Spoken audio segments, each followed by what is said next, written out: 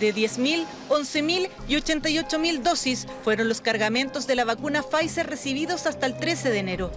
Sin embargo, la baja en la producción mundial por parte del laboratorio encendió las alarmas.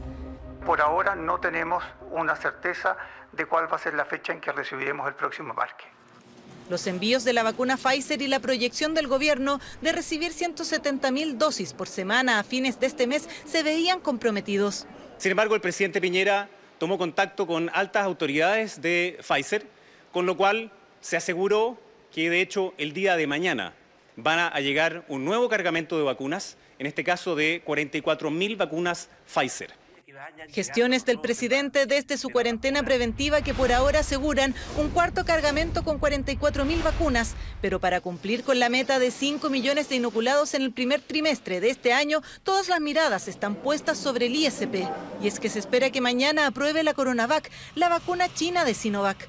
Si es que el día de mañana el ISP aprueba la vacuna de Sinovac, significa que es segura y eficaz. Si la decisión de mañana es positiva, eh, con eso se da luz verde, ¿cierto?, para que eh, el Ministerio de Salud ya pueda traer vacunas a Chile, de esta vacuna en particular, eh, y uno esperaría que esto no pasara más allá de una semana, es decir, lunes, martes, la próxima semana ya tener acceso a estas vacunas en Chile.